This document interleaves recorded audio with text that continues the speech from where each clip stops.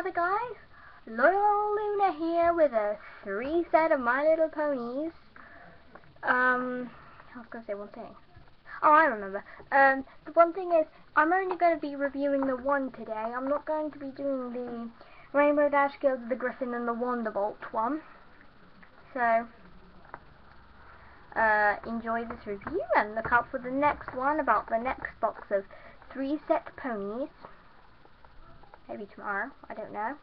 I might upload it today or tomorrow, so let's let's start it opening so Do some simple whipping here.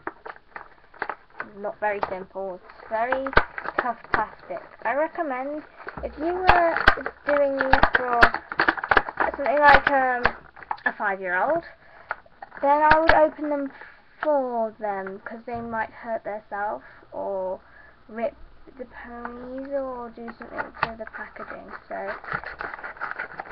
I'd recommend you doing it for them.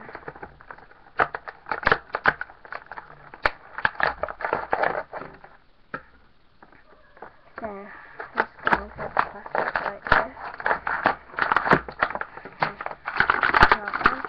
So just before we start, background scene with Spike there Dash there.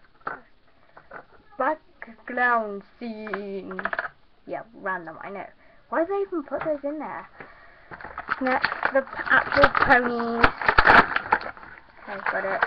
Big deal, just a box of ponies. Okay, so, yeah, anyway, people would be screaming right now because I've got one of the best Princess Cadances on earth. So, Twilight Sparkle.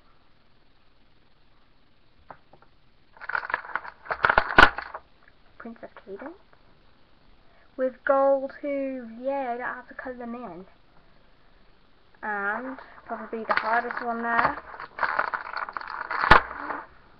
Shining armour. Alright guys, thanks for watching. Loyal Luna out.